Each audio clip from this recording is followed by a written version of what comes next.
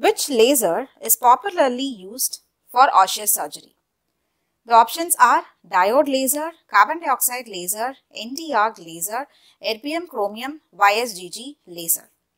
This question is about laser which stands for light amplification by stimulated emission of radiation. It stands for light amplification by stimulated emission of radiation.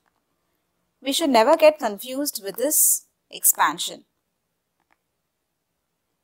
Laser, it stands for light amplification by stimulated emission of radiation. So we had question just based on the expansion of laser. And here we should choose the one which is used for osseous surgeries. To know that, first let's discuss about the classification of lasers. Lasers are classified based on the wavelength into three different types. That is the one which is effective in UV light spectrum and then visible light spectrum and in infrared spectrum.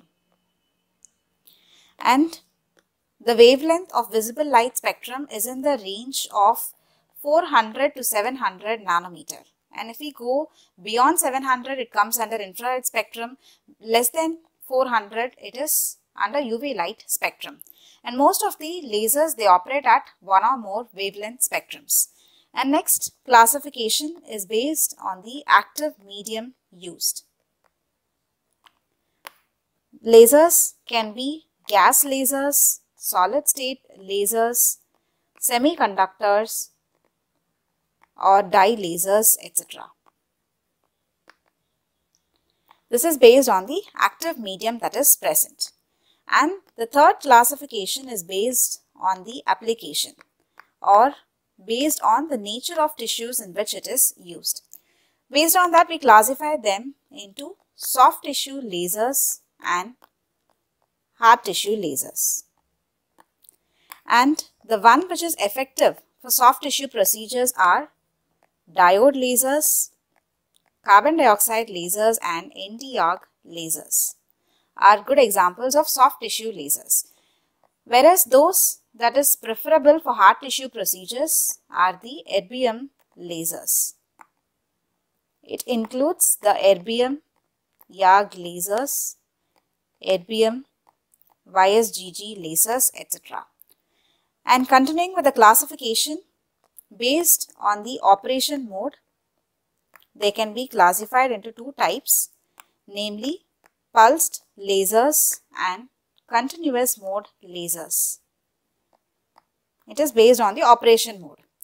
The one which functions in pulsed mode is pulse laser and continuous mode is continuous wave laser. And even based on the delivery system, they are classified as articulated arm and hollow waveguide and the one which employs fiber optic cable. So this is based on the delivery system. So these are some of the important classification of lasers that I have listed here based on the wavelength, based on the active medium, based on the application, based on the operation mode and delivery system. Now getting back to our question. We have to choose the one which is popularly used for osseous surgery. The term osseous denotes the hard tissue, that is the bone. So we have to choose the one which is preferable for hard tissue procedures like osseous surgeries. From the given four options, the first option diode laser, it is preferable for soft tissue procedures only because it is a soft tissue laser. And next is carbon dioxide laser. It is also a soft tissue laser but recently FDA has approved the carbon dioxide laser for hard tissues also. And option 3 says Nd:YAG laser. It is again a soft tissue laser effective for soft tissue procedures. And then comes erbium chromium YSGG laser. It is a hard tissue laser. And out of the four given lasers, the one which is popularly used is nothing but the erbium lasers that is erbium chromium YSGG lasers are the one which is popularly used for osseous surgeries that is for the hard tissue procedures. To add upon here is a table which is showing the wavelength of different lasers along with the dental applications. It's very very important to know the wavelength and some of the important applications of the lasers. Argon lasers, you should remember the wavelength. It is at available at 488 nanometer and at 514 nanometer and the function is very very important tooth bleaching and in high intensity curing. It is the 488 nanometer that is effective for high intensity curing and apart from that argon lasers are effective in laser tooth whitening. And next comes the diode laser. So it is effective only for soft tissue procedures. It is a soft tissue laser. Even argon, it is a soft tissue laser. That is at 514 nanometer, it is effective for soft tissue procedures. And diode lasers I have mentioned for all the soft tissue procedures. And next is Nd:YAG laser. It stands for neodymium yttrium aluminum garnet laser. And you should remember the wavelength which is 1064 nanometer.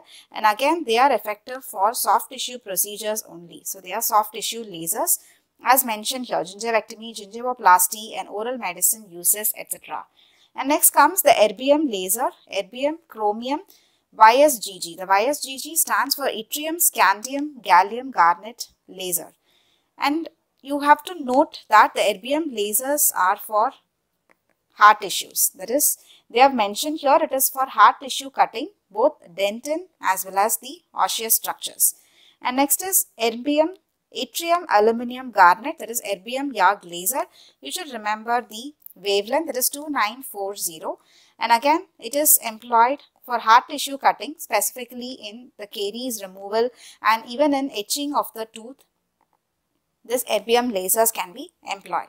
And finally, carbon dioxide laser, it has the highest wavelength 10,600 nanometer and it is a soft tissue laser but recently it is also approved for the hard tissue procedures.